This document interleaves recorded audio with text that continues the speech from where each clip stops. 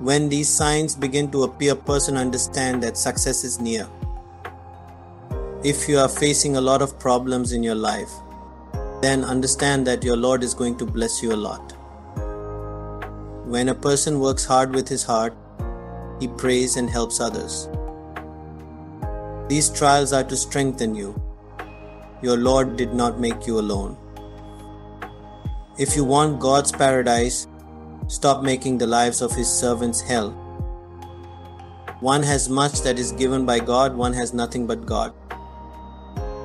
Learn to live in the hearts. Everyone lives in pride. What you have learned from life, which is the bitter truth.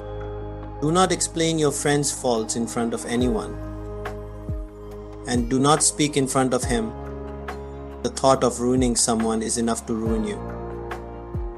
It's good, sometimes it hurts to know everything. There are three foods that bring back youth fish, porridge, and dry fruits. Misconduct is not related to education but to training. The best life is lived by those who do not rely on anyone but God to fulfill their needs. The advantage of walking on the path of truth was that there was no crowd on the way. You do not live in this world, but you are passing through here. To reveal your visible vein to people in the temptation of ointment is the last limit of stupidity. Three ways trouble turns into prosperity.